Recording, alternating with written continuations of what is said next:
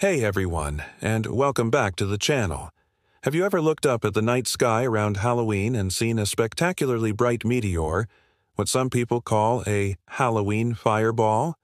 Well, those brilliant streaks of light are part of the Taurid meteor shower, and they might be telling us something much bigger about our cosmic neighborhood. So, what are the Taurids? They're a stream of debris left behind by a giant comet, Comet Encke.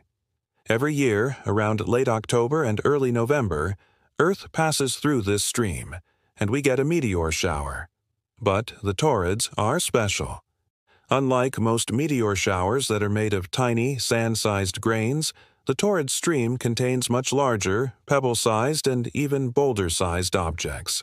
That's why they can produce such incredibly bright fireballs. Now, here's where it gets really interesting. Scientists have identified a denser part of this debris stream, called the Taurid Swarm.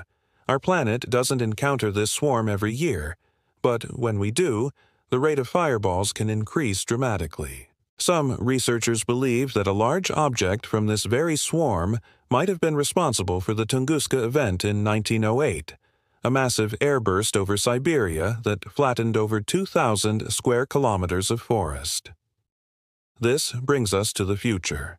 Based on orbital calculations, astronomers predict that Earth will have particularly close encounters with the core of the Taurid swarm in the years 2032 and 2036. During these periods, the risk of a significant impact or a powerful airburst, similar to Tunguska, could be higher than usual.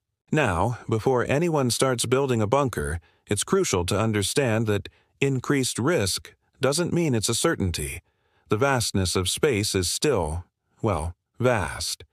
But these future encounters give scientists a perfect opportunity to study the Taurid swarm up close, identify any potentially hazardous asteroids within it, and better understand the real level of threat they pose.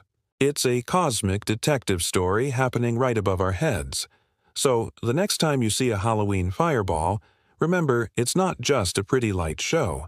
It's a reminder of our dynamic and ever-changing solar system and the fascinating work being done to keep us safe. Thanks so much for watching. If you found this interesting, don't forget to hit that like button and subscribe for more deep dives into the cosmos. See you in the next video.